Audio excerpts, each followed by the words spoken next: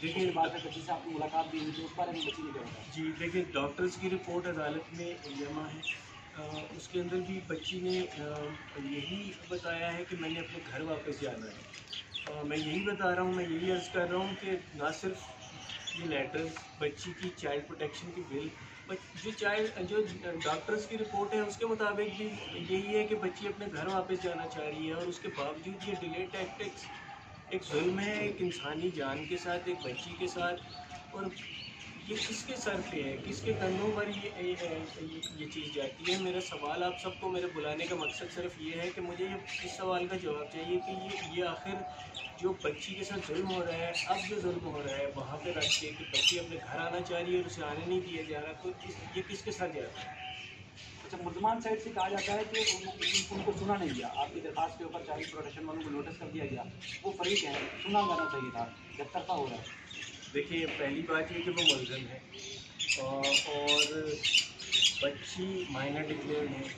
बच्ची अगर ये कहती है कि मैंने अपने माँ बाप के पास रिक्वेस्ट करता हूँ अपील करता हूँ उनसे और सिंध हाई हाई कोर्ट के जो चीफ जस्टिस हैं उनसे भी अपील करता हूँ कि खुदारा मेरे मामले को देखिए।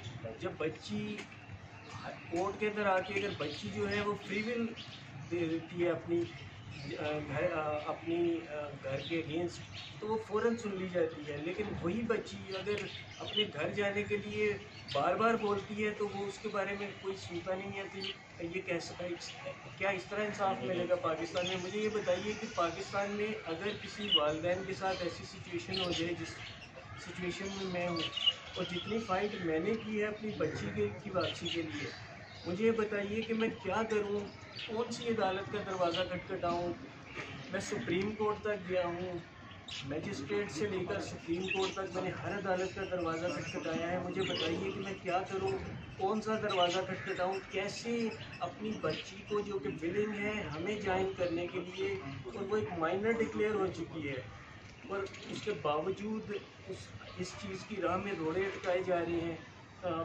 मैं ये सवाल आप सबसे करता हूँ। अगर आपके पास कोई क्वेश्चन है तो आप मुझसे कर सकते हैं। मुलाकातें हुई आपकी कितनी मुलाकातें हुई क्या बात हुई? अच्छा ये भी वाजे कर दें इसके साथ ही कि जो कोर्ट में उन्हें इस चीज़ का डर था कि अब बच्ची आएगी और बच्ची आकर रिवील करेगी वो चीज़ें जो जिसका उन लोगों को डर है। अच्छा वो माहौल अंदर कैसा है? वहाँ सेफ्टी और सिक्योरिटी के हवाले से बच्चे सर और बहुत बच्चे हैं। बहुत सेफ़ माहौल है। मैं पर्सनली मैं सबसे पहले तो ये दुआ करूँगा कि हर बच्ची अपने घर में रहे और ऐसी जगह से कोई बच्ची ना आए। लेकिन तो अगर कोई किस्मत किसी बच्ची को ऐसी जगह पर ले आती है तो मेरे ख्याल से ये बड़ा सेफ़ सेंटर हाउस है।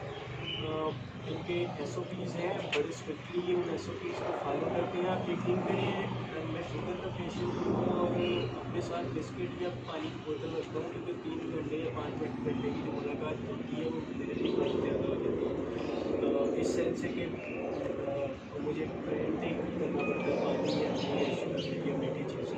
तो मैं अपना पानी की बोतल, मैं उस बच्ची को नहीं दे सकता। वो एस ओ पीज़ उनके हैं। बच्ची ने अगर कोई चीज़ यूज़ करनी होती है, पानी पीना होता है, कोई चीज़ खानी होती है तो वो शेल्टर हाउस का जो उनका अपना डेडिकेटेड पानी है, वो वहाँ से आता है।